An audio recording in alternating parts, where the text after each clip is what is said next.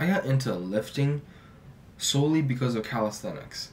Calisthenics being a sport where you do pretty much only body weight movements, but of course there's also weighted calisthenics, which combines weights and calisthenics together.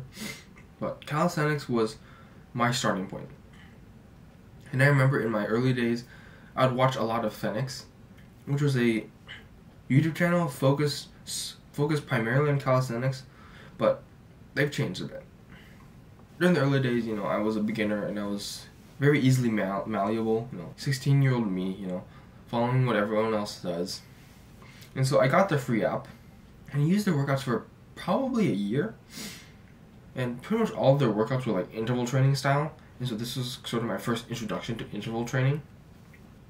Honestly speaking, Thenx doesn't really make that many videos about calisthenics anymore.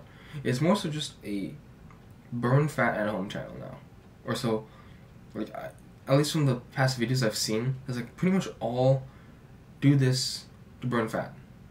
It's kind of sad in a way.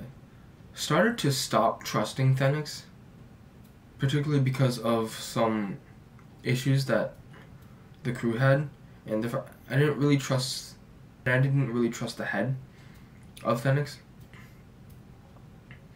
And so I started I stopped using their app and their workouts and then I sort of pursued my own. And then I once again got into interval training from Athlean-X. You know, biggest fitness YouTuber. Markets to the markets to normies, markets to beginners. And if you're anything but that, just stay away. The, the advice he gives makes you stay trapped as a beginner. But anyway, I use a template of his and I put in my own exercises. And I believe the intervals were like 40 seconds on of the exercise and then 20 seconds off for rest. How the workouts were is that during those 40 seconds, you would need to do as many reps of the exercise as possible. Fairly simple. And so I trained this way for like a couple of months and I didn't really see much progress. And there are many reasons for this. One of which is the structure of the workout.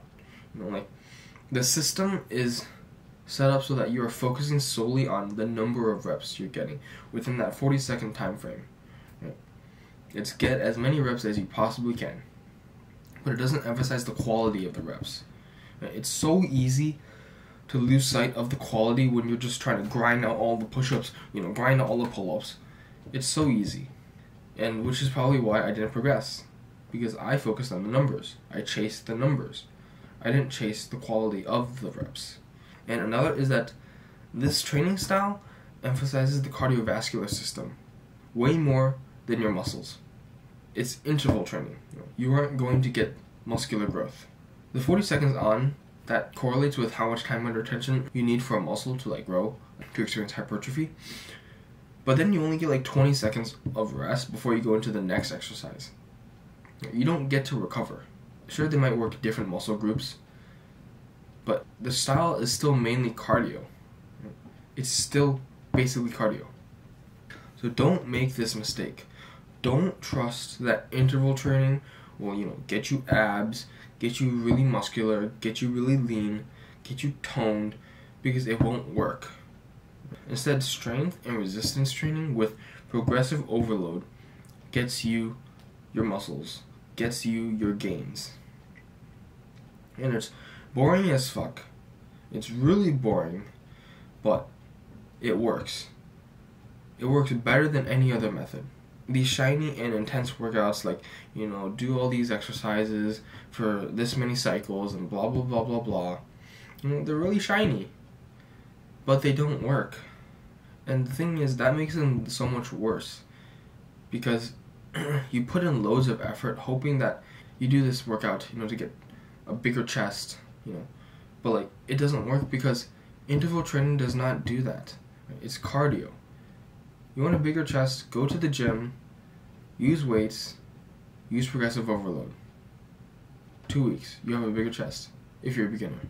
I spent years and months stuck with interval training because I thought that it was the best method to gain muscle.